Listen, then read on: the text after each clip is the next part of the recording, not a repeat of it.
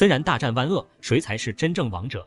在新加坡的一个森林公园中，有一只巨大的蟒蛇正在河中游动，寻觅周围有没有合适的猎物。但它所在的这片水域是对方的领地，所以在它看不见的地方，对方已经埋伏了好几天了。所以当森然游过它的身边的时候，湾鳄率先就发动了攻击，打斗一触即发。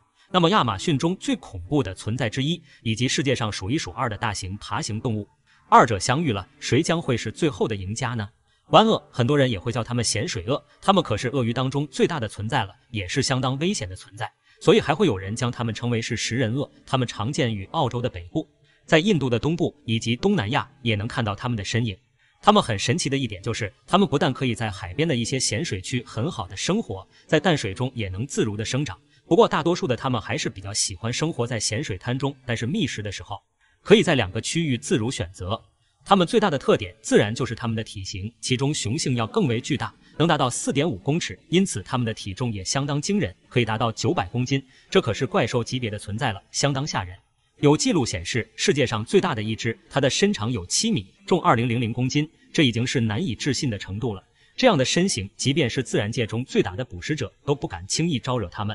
森然大战万恶，谁才是真正王者？湾鳄不止身形惊人，它们的捕食能力也相当高超。它们就像大多数的鳄鱼一样，非常擅长偷袭，并且领地意识较强。若是有其他的动物闯入到了它们的地方，那么它们就会埋伏在它们的附近，之后就会用最快的速度攻击那些准备喝水或者是准备过河的动物。偷袭若是成功完成的话，它们会在第一时间将咬住的猎物带到水中，这就是它们的制胜法宝之一。因为主要在水中活动，所以它们就可以轻松地将猎物拖进水中溺死。之后就是享受时刻了。事实上，一旦被他们拖进水中，生还的机会基本上就已经不存在了。我们再看另外一个主角森然，很多的生物学家就曾经表示过，它们是世界上最大的一种蛇，当然重量也是最重的。据记录，最长的一条在十米左右，体重能达到两百二十五公斤，非常惊人。和湾鳄不同的一点是，它们中的雌性长度和重量要远超雄性。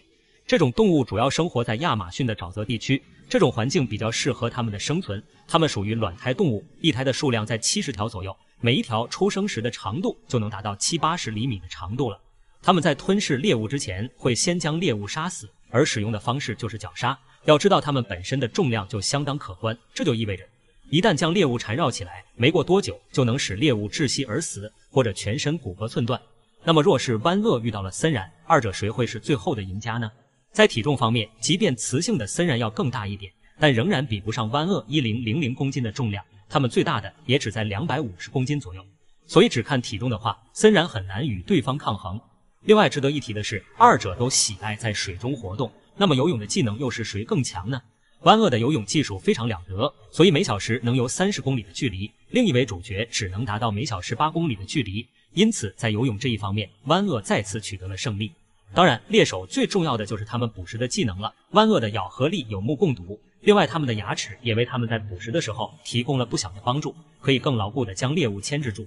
而虽然呢，他们向后的牙齿可以帮助他们更好的将猎物吞下肚子，但咬合力和杀伤力就差一点。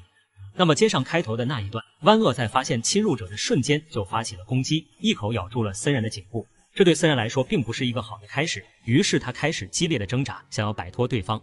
但在对方巨大的咬合力下，他被死死的咬住，难以动弹。于是采取了另一个方式，用自己强壮的身体将对方缠绕起来。但可惜的是，在还没将对方整个缠住的时候，湾鳄已经再次发动攻击，用力一咬，森然的头部就被瞬间咬碎了。好了，本期视频到这里就结束了。喜欢的小伙伴记得点赞关注哦，我们下期视频再见。